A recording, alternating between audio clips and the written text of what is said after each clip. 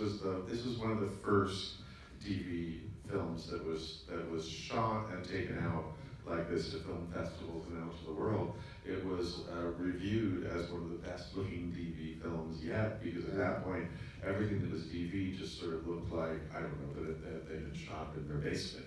And, uh, you know, this was, I mean, a cast of a hundred women. Every Hundred woman we knew. women. Every woman we knew was like, you know, you're gonna have to come, we're gonna need you for a scene, you know, whatever it. Um, and, uh, and locations, I mean, what I believed as a, as a producer at this point was that it was cheaper to move around than it was to stay in one place. I was like, you know, if we're only asking them for one day or half a day or whatever it might be, that is so much less expensive than can we come shoot your house for three weeks or whatever it might have been, right? So, uh, do you remember how many shooting days it was, Todd? Like in the end? Jesus, what was it, eleven? No, it was more than that. It was three is it? weeks. Yeah, it was three. Five days, so it's fifteen days. Yeah, I think it was, yeah, That's it. yeah, or maybe it was eighteen days, because maybe, you know, who took, who took a day off? What, Ti- what P. David said earlier before the film about sending us out with this page number and never thinking we were gonna shoot those. Like, you're gonna shoot this many pages today. Ha, ha, ha. And we would do it. But I have to say to these actors, I mean, everyone knew their lines. I knew these theater people, right, are very crackerjack at that. But Mary and Jamie and Sandy, they were memorizing so much. And that scene with the, uh, in the town hall was one day. But that day we had two cameras, that was revolutionary. So we were shooting two setups on every shot. Yeah, yeah, yeah. And they matched perfectly. That was incredible. That was funny. Yeah. Um, why don't we go down the line and everyone just say their name and what they did in the film? I'm Jamie Talbert on the film. I've added Franklin, Jamie Talbert Franklin, and I played Mary's sister.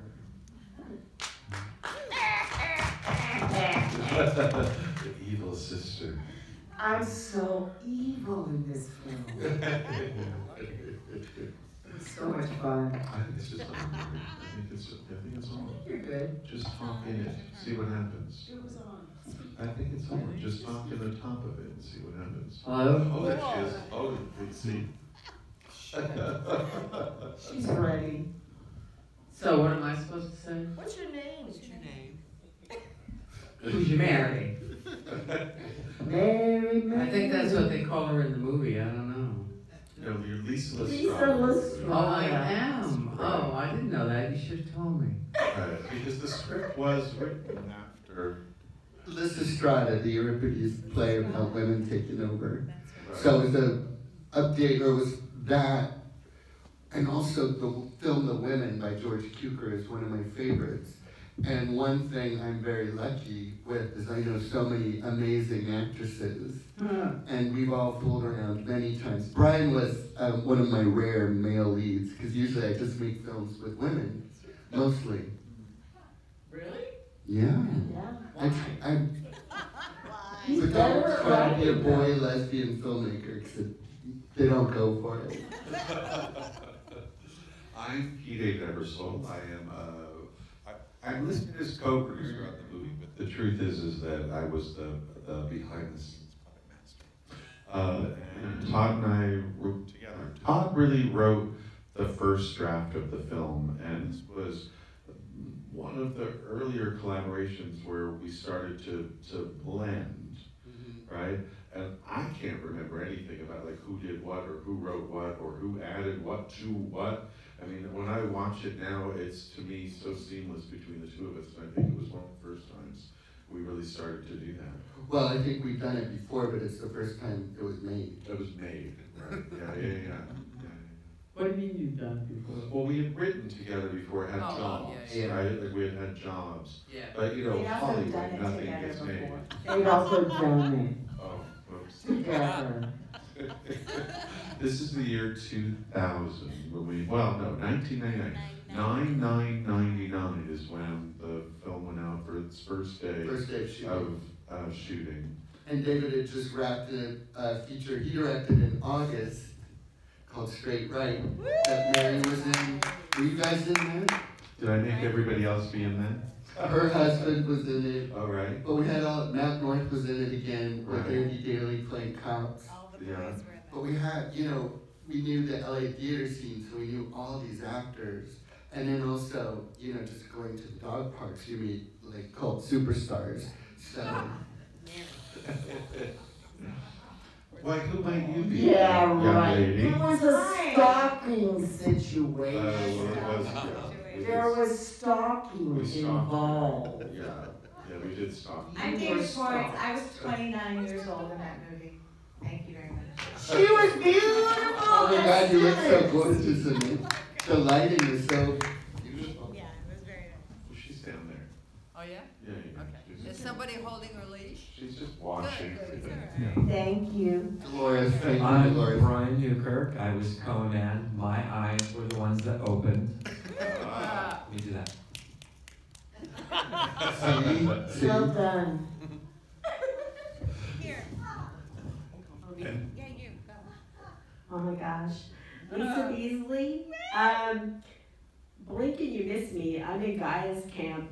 But what you don't know is Gaia's camp was in their backyard. And it was a tent, and we were all inside a tent in their backyard. Um, Yeah, and we had just bought that house. We were just doing that house. Yes. And as soon as we started shooting, this helicopter kept circling and circling. Silver. They kept going, cut, cut, wait. And we, we finally got the scene. And then the Elysium, well, the scene out in the nature was really in the nature. And uh, that was hilarious because we got attacked by bees. Oh. Do you Bees or that? hornets. yeah. Something happened, and all of a sudden, everybody was like running, and stuff was happening, and and all I know is we finished everything, and everything was lovely. It was so fun, and we were having such a blast. And then we were, you know, getting out of our costumes and heading home. And I realized halfway on the way home that I still had on my new women necklace. And I said, "Oh my God, I, I stole this." I should have given it back to the costume people. And then I wore it tonight, and I thought I was gonna get in trouble, but they said it's fine. Oh, I'm thrilled to see it. So that symbol is designed by a woman named Sheila Bretteville, who is, oh, hello, uh, Sheila de Bretteville, who is my mother's best friend, and she is the head of the design department at Yale, the first tenured female professor ever at Yale. And she designed that in, in the seventies, and I remembered it from being a kid when we were writing this movie. I asked her, can we use it as the symbol for the, for the film, the, uh, the bolt, uh, you know, for the, for the female symbol, and she gave us, you know, written, signed permission. And the statute of limitations has run out, so I'm So keeping it. Lisa's not going to jail tonight. And if you wanna see it up close, don't worry. We were saying Christy did a great job with the costume. The costumes are so great. Christy Wittenborn, who did the costumes, right? Like they're women of a certain. Women of a very specific era, yes, right? Yeah. And And Vache, our, And our Tara. makeup guy did such an amazing job because I thought everyone was so gorgeous. gorgeous. And um, and then we did that weird thing in Elysium where everyone was silver. Right. Silver.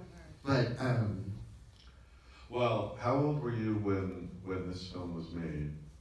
oh wow, I think it was Are you are you thirty. thir- you're 38 or 38, something like something that, like right? And Mary is 58 in that movie, right? Which is Oh our- right, Which is our age now. right. And then we had to put old age makeup on her at the end. I remember like thinking at the time, like, oh, we're gonna like draw lines on her lips and make it so that That was the one old thing. because it's 15 years later. The one thing that uh, could have been improved upon that old age makeup was a little.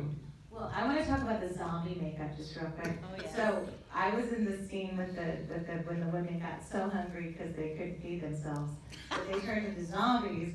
Um, and so that first day, Vache, our fabulous makeup artist, um, he was doing my makeup first, and, and I would go out and look at, at, uh, at these guys, and they would say, hungrier, her to be hungry. I'd go back to the mirror, literally like four times, they were like, Vache, hungrier.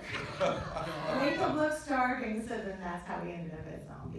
Well, the first time Mary came out as a makeup trailer, it was like, ah, she looked like a drag queen. He just really done her up. And we were like, oh, Vache, no, no, no. You got this all wrong. Because he thought, you know, you Google. No, they didn't have Google then. But I think he thought it was going to be much, I don't know, it was a little, Oh, yeah. but he got, he got it. Yeah. More natural. Do you, re- Mary, do you- what, now you, that you've seen the film, Yeah. do you remember anything like that day at the park where all the girls were getting stuck by the bees? You were in the trailer with Jenny Shimizu and her girlfriend who got, you told me some hilarious story about what was going on in there. I don't remember. Uh, Sorry.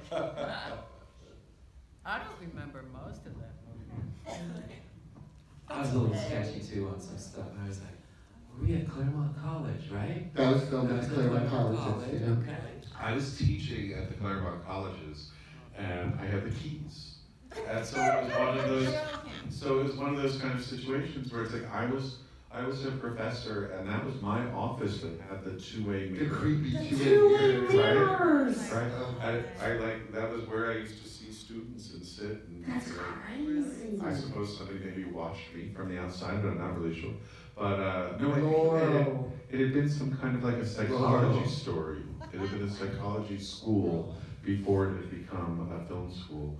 But I had the keys, so I was like, well, we'll just go on a weekend. I don't even think I asked permission, honestly. I think Alex Juhasz booked it for like her class She or maybe said it was okay. She said the students were doing something. Right, yeah, yeah. But no one ever bothered us, so we did some crazy stuff. What was the church where we did that towns? That was the Silver Lake Church right on, next to 7-Eleven. And Roma, Roma lost her mind during that scene, like she, I don't know what She was went into happening. like a whole new She weird was- character, right? like- She, I did a shop down at the, right, she got a new accent. uh, She know. did, she Yeah. got a new was. accent. but she was sitting behind me the whole time and she wouldn't stop talking. Like, Cause I was in the reaction shots. She was on the profile. She was on a show called Profiler at Yeah. the time. And she we were was yanking actually, her off of set. Jamie was teaching school Right. and had to take time off. Mary was very generous and had a break in her schedule. Everyone was uh, working and stuff, and we had to try to figure it out. Roma was on TV, and she was the only one who was get like, you know, we'd have to change the. I would literally have to go and pick her up from set and say, I'm Yeah. driving you to the, to the next set. And we would, we would get there and say, she'd been working a twelve hour day. And you go, oh. well, you're working all night, honey, because you like. And Mary Scheer, who played the mayor, was going to play the part of Jane Ray. And she Claire. had just gotten on the Martin Short show or something like that. And said, I can't do a lead. I can't take that three weeks off right now. So, Yeah, but how lucky we got everyone. That was That we really did, good. yeah. Yeah. And that's, Jane was so funny. she was so so funny. awesome. yeah. And she Sandy was, Kinder. Sandy. Jane sings the New Women's song, even though somebody else is lip syncing it at Right. the, at the camp. But, I mean, what's a Todd Hughes film without a song? I had to have a musical number. And Tori's music. I feel like we all sang that, did we all, like, did. I, cause I feel like we all recorded ourselves singing Yeah. that Yeah, at one point, is that all of us? yeah. It's hilarious. No, they did, I, we did a great job with the sound, I thought, in the ADR and the, um, loop group, which was just like the same people.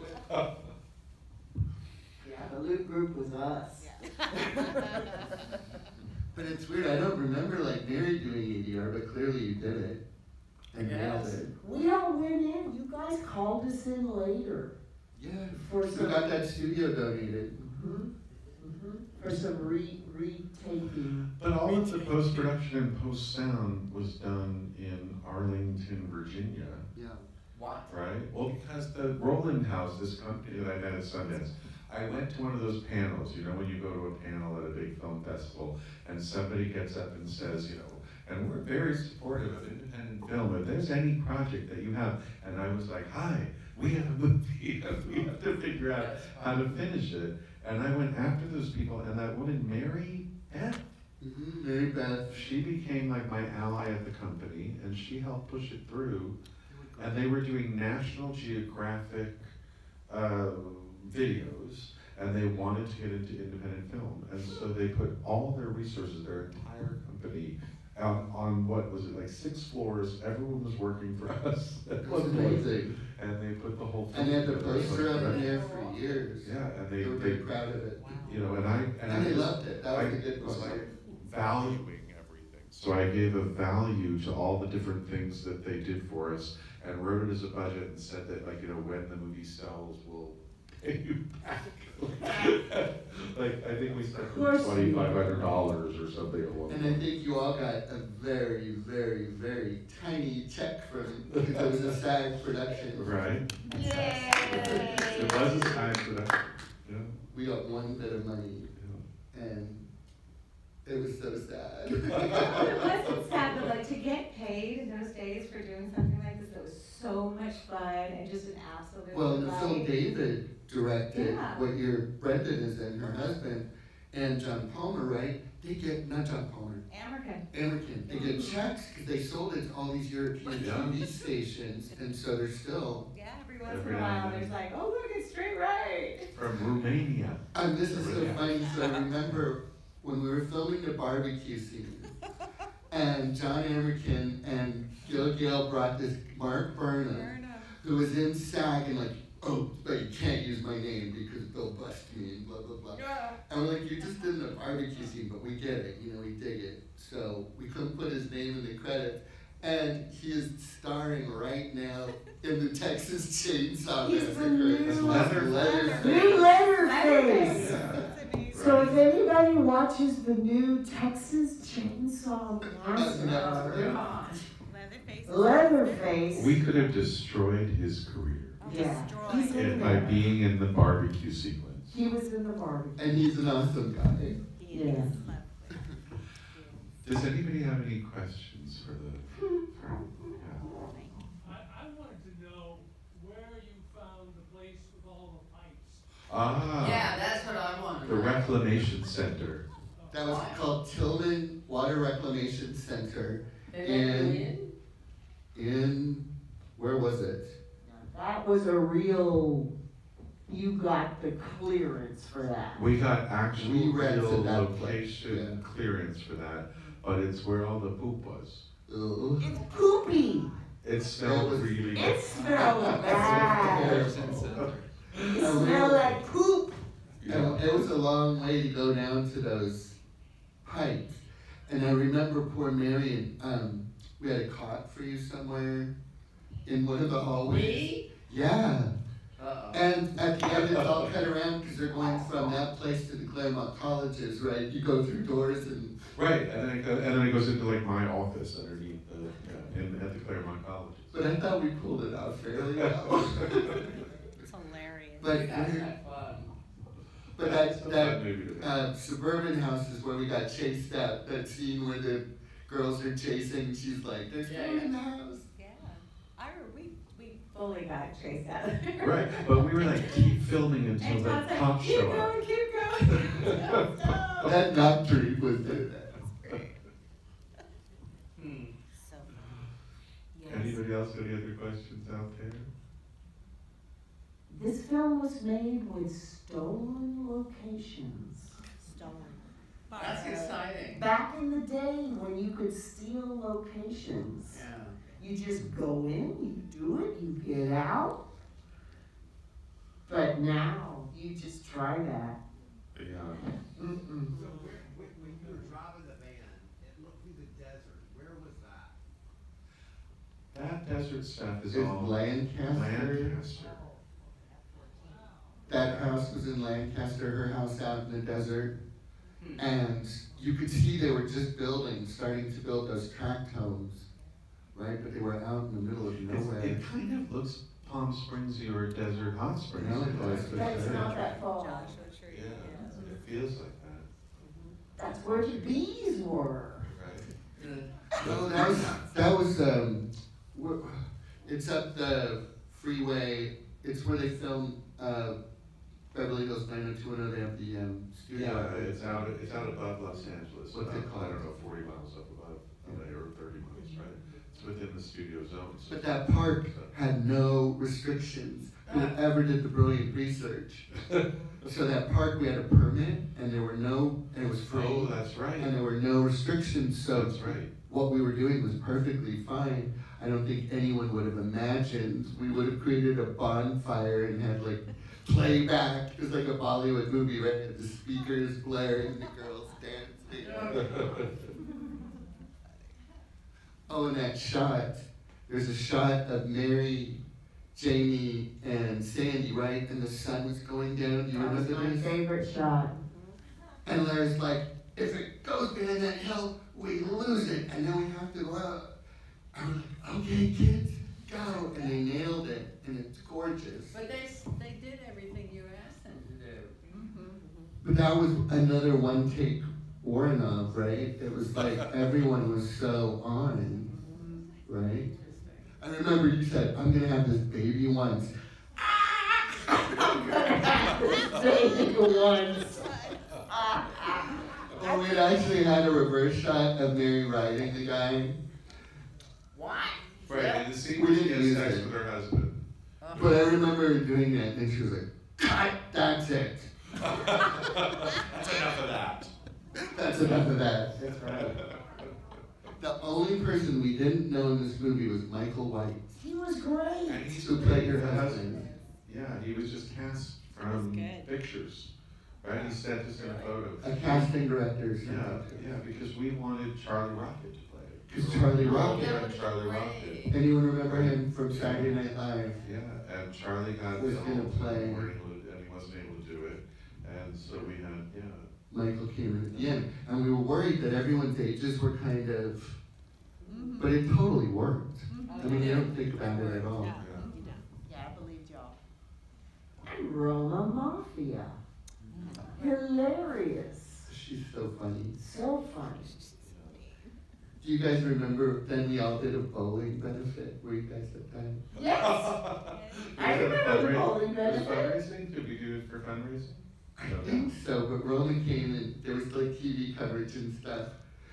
And Mary did an interview where she's like, look, we bowled together. That's how much fun we had. Well, listen, I want to thank everyone for coming out tonight. Yes. And, uh, you know, we're gonna, we'll go upstairs and hang out for a bit. If anybody would like Mary to sign a book, uh, you know, the books are available. The Wait of the Angels is, uh, extremely rare, and they're all from, you know, Mary's apartment at this point. And we, we especially printing also, uh, Swimming Underground, uh, just for the event, uh, here for these four weeks. So next, next week is what we. Warhol night. Warhol Night, and we're showing the, um, it's called Queen of China, but it's really, it's the, it's Chelsea Girls, but it's only the scenes that Mary is in, the two reels. Usually Chelsea Girls is, is four hours long and it's two screens. And even the Warhol Museum was like, and that's tax, that's, you know, that takes some, But uh. we're gonna be able to watch Mary, To watch. Mary's Yeah. Stuff, which was a play by Ronald Tavel. Oh, yeah. And apparently you nailed it. Yeah, yeah. You came in and delivered this monologue that lasts like thirty minutes. Uh-oh. Right, so it's two reels, sixty minutes. And the second half, there's no script and things get a little kooky. Okay, can I just say this? Okay, so I was cast as Mary's sister. Yes. I saw Chelsea Girls when I was eighteen at the University of Texas in Yeah. Austin. Yeah. Um, Dean Yes. brought his own personal copies and showed us the Chelsea Girls. Wow. Really? As, as well as some of the other, um, reels that Warhol had done with Ondine. How did he get them? He had his own personal copies. Like, I'm thinking maybe he got paid with a copy of the film. Oh, I see. Uh, So he took these films on the road in 1981. So they're at least 15 years old, right? Yeah, yeah, yeah. Right. Okay. So he showed these films, and I saw at 18 years old, fresh from Fort Worth, Texas, I saw Mary Woronov playing Hanoi Hannah, and I felt seen. I felt seen. I felt like you knew me. Uh, I know, crazy, right? yeah, yeah. But I identified with her. So, forever, since I was 18 years old, you've been a hero of mine. Uh-oh. And then, when Not Todd. responsible. No, she's not. And I never told her this because I thought she's gonna think I'm some simp. Some, some fan, right? So I never told you that you had been my idol long before I got to be in the movie with you.